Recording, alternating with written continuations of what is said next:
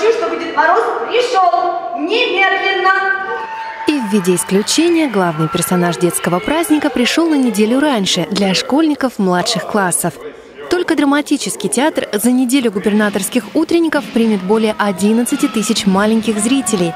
Многие из них приехали на праздник из разных районов Алтая впервые. Театр, я хочу подарок увидеть, какой-нибудь от билета.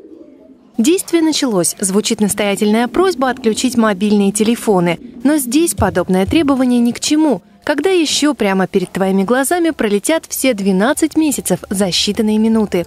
Да и программу подбирали специально для столь юного возраста.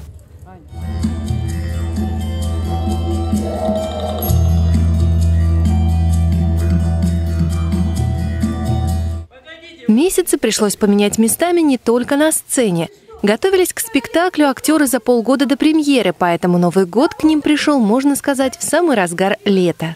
После спектакля подарок. Подснежники, конечно, вручать не будут. Детей порадуют традиционно сладким призом и необычным цифровым поздравлением.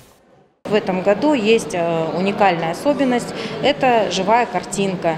Когда ребята загружают свои смартфоны, телефоны, планшеты, программу, после ее установки они могут увидеть живую картинку, поздравления Снегурочки, а также набор юного программиста. Праздничная программа для школьников в драматическом и других театрах города продлится до 29 декабря. До 30-го такие представления покажут еще в пяти городах края. Посетить их смогут дети со всех уголков края.